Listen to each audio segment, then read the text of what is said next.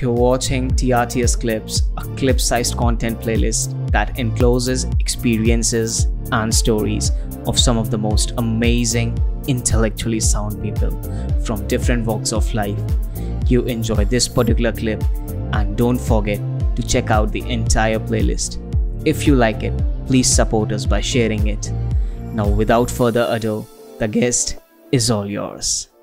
I remember graduating out of engineering knowing about 30 computer languages, right? Oh. And I used to be confident, comfortable with the fact that most things about most things I'm aware of. Hmm. But in the last 18, 20 years, it's been such a great explosion. It's a massive explosion Yeah. that today, I mean, I couldn't tell you that I know even most of the computer language names. Obviously, one is that I'm no longer Yeah. in the computer science development space, I'm more in digital marketing. I'm more of a business person. I'm more of a Yeah. management uh, person, a leader. Even if I was in computer science, I don't think I could tell you that, uh, you know, I know everything about everything tech. Exactly. So I think one has to be aware that that time has passed when you knew everything about everything. So therefore, it is extremely important to be very careful and cognizant of what will you be a specialist in, and then go be a specialist in that, and then build a network, build a collaborated collaboration with a lot of other folks on who are good in their respective areas. yeah. So that's number one is the attitude towards technology, I would say. Number two, I would say is attitude towards how we see ourselves in Okay. respect of the rest of the globe. I think when I was graduating, I think that time it, it was very much the ticket to success to go to a foreign country Oh. and go make a career in a foreign country, right? So Yeah. India was supposed to be simply a supplier exactly. of trained, enterprising, hardworking, analytical oriented talent, right? So the ticket to success was go on site or somewhere find a way to get out of India.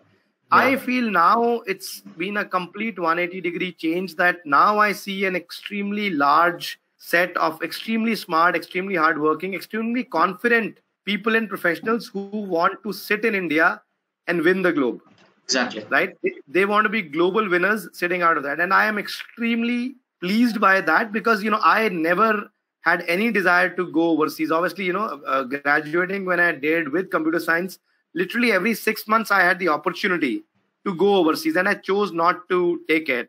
I only went overseas once, that too in 2011, uh, just about for a year, and then I came back Okay. right? So I am actually personally quite thrilled that the Indian professional mindset has moved on from being somebody who's seeking an employment in a global corporation, preferably outside of India, to sitting in India and building for the world, sitting in India and having customers from around the world, sitting in India and having investors from around the world. Yeah. so that i think is a sea change in the ambition of the indian professional and i would i find that extremely energizing. The third i would say is the uh, change in the indian society and the outlook towards a lot of things right whether it is the outlook towards enabling your boys and girls right enabling your children to go be an entrepreneur. I think when i started out being an entrepreneur was deemed to be extremely risky and not for the middle class. But now you see a whole crop of professionals who are you know come from from our kind of backgrounds but Yeah. are happy to be entrepreneurs and the second aspect i would say is the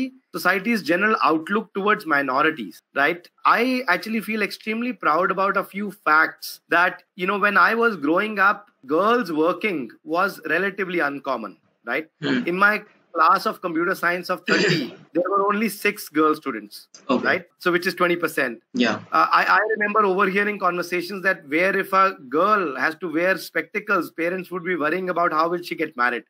Yeah. So from that being the attitude of the society in 20, in 1980s to in 2020 where India has government mandated six months maternity leave, right? So Exactly. that leapfrogging, right? And even now, countries like US or uh, UK or others, they have about 12 weeks of mat leave, right?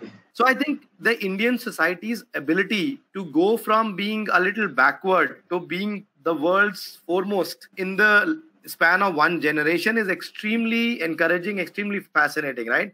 Similar is the attitude towards, let's say, minorities, including the LGBTQ plus community, right? So whether it is the role of some progressive movies or it is the role of activists who have been courageous or it is the people who themselves have been from the minority communities for their courage to come out, right? Exactly. But we've gone from being not talking about a certain topic or talking about a certain topic only to mock that topic to ha- having very progressive laws and pro- very progressive participants of the society in one generation.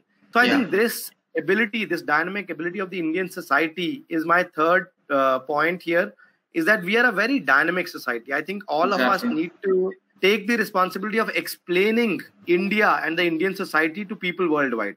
I think a Hmm. lot of people have a lot of this very narrow, very backward, very regressive kind of view of what India or Indian society is. So I, for one, for example, I wasn't very thrilled with the success of Slumdog Millionaire.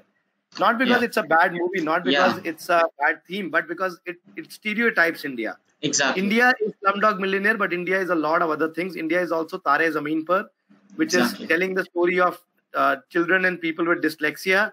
India is also Hichki, right, Yeah. which is talking about Tourette syndrome. India is also all the other media about LGBTQ. India is also about women rights. So India is about a lot of things. India is not a society that you can spend five minutes and understand. So I feel those are the things about technology, about our aspirations, and about our multi-faceted society.